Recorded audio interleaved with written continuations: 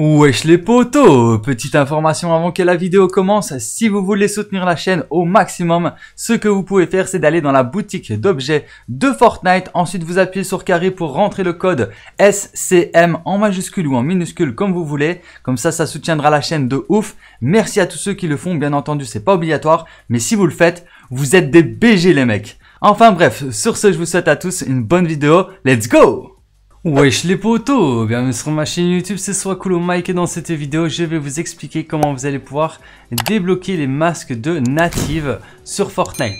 Alors bien évidemment les masques de native n'iront que sur les personnages natifs que vous débloquez dans le pass de combat. Donc si vous n'avez pas le pass de combat, bah, vous ne pourrez pas débloquer ces masques. Alors euh, native c'est ce personnage là, donc là c'est une variante, mais voilà il faudra ce skin là pour pouvoir euh, lui mettre les masques. Donc le personnage qui est juste ici, voilà. Alors quand vous avez ce personnage là, vous allez pouvoir vous équiper de masques de native. Mais le problème c'est qu'il faut débloquer les masques de native. Et pour les débloquer, vous avez deux choses à faire. Ah, je me suis fait déconnecter, ok. Ok, donc suite à un souci, Fortnite nous a tous déconnectés et on va devoir attendre pour se reconnecter. Donc les serveurs sont off. Alors j'utilise euh, un rec que j'ai fait juste avant euh, de faire la vidéo.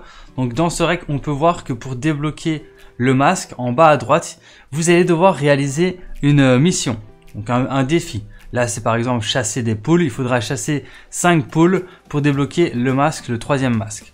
Ensuite, c'est pas tout parce que quand vous avez débloqué le petit cadenas jaune qui est sur le masque, il va falloir les payer en plumes. Et les plumes, vous allez pouvoir les obtenir quand vous ouvrez des coffres. Donc euh, c'est un peu comme les couleurs qu'il y a eu euh, à la saison euh, précédente, donc euh, on obtenait des couleurs, on ouvrait euh, des coffres. Bah là en fait quand vous allez ouvrir des coffres, vous allez obtenir des plumes. Donc je suppose que les largages de ravitaillement aussi vous donnent des plumes et peut-être aussi les lamas. Donc quand vous allez ouvrir un coffre ou un largage ou un lama, bah, vous allez peut-être obtenir 3 plumes, 5 plumes, 10 plumes, 15 plumes, je sais pas, j'ai pas pu tester, mais voilà, pour, pour, débloquer un masque, il faudra réaliser le défi qui est affiché en bas à droite euh, de, l'écran. Et ensuite, le payer 10 plumes, 15 plumes, 20 plumes. Là, par exemple, le dernier masque, il coûte 20 plumes. Il y en a qui coûtent 15 plumes et il y en a qui coûtent 10 plumes. Et pour obtenir les plumes, bah, vous les avez dans des coffres. Donc voilà, je pense que je vous ai tout dit à propos de ces, euh, de ces masques. Après, bah, vous avez juste pour, euh, pour vous équiper du personnage, vous avez juste à aller sur le, le, skin native, appuyer sur carré pour personnaliser le skin native et lui lui mettre le masque que vous avez débloqué et que vous voulez.